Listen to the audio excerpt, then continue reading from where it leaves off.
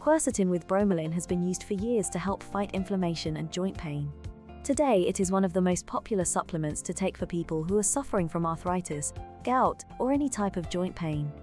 Quercetin is a flavonoid that has antioxidant properties and can act as defense against oxidative stress.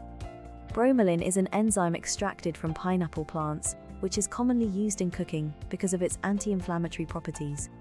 The bromelain found in pineapple is a proteolytic enzyme that has been shown to have anti-inflammatory properties. This makes it a popular ingredient for people who suffer from chronic inflammation.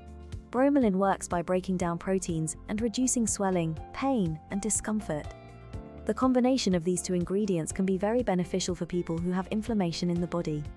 A study conducted by the University of Maryland School of Medicine showed that supplementing with quercetin and bromelain can reduce the likelihood of a heart attack or stroke caused by clogged arteries.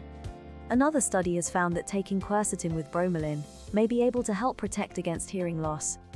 If you are looking for a natural supplement to help with inflammation and to fight off free radicals, then this might be something you want to look into. It can also help with digestion when taken on an empty stomach. It's important to talk to your doctor or other professional before beginning any sort of supplementation or treatments. Feel free to contact us if you want us to give you the contact information of professionals who work with our network.